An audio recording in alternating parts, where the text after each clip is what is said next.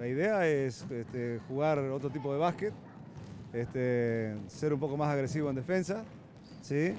y saber mantener la diferencia cuando la sacamos. Porque a veces los jugadores con la ansiedad que tienen, este, va ganando por 10, por 15 y quieren ganar por 30. ¿viste?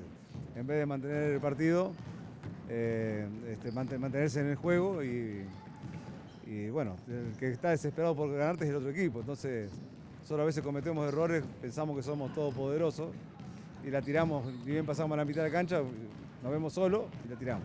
Bueno, corrigiendo esas cosas vamos a, mejorar mucho el, juego de equipo. Y tenemos que jugar con, en, esos, en esos momentos con más pases. Y tenemos las ofensivas preparadas para jugar. Pues las tenemos que utilizar. Se está armando un buen torneo, ¿no? Sí, es un lindo torneo, son dos zonas fuertes eh, y parejas, porque no, es, no hay un equipo que te gane por 40 este, o, vos ganarle por 40.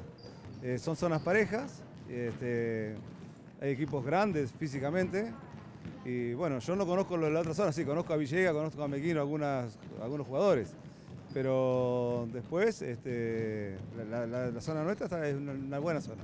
¿Argentino se hace más fuerte de local? Mira, nosotros hemos jugado de local y visitante del año pasado, también hemos ganado visitante. Este, y de local, yo pienso que cualquier equipo se tiene que hacer fuerte cuando juega de local. Es tu cancha, ¿sí? Este, la gente te acompaña, que la verdad que estamos muy agradecidos por el, el acompañamiento de la gente.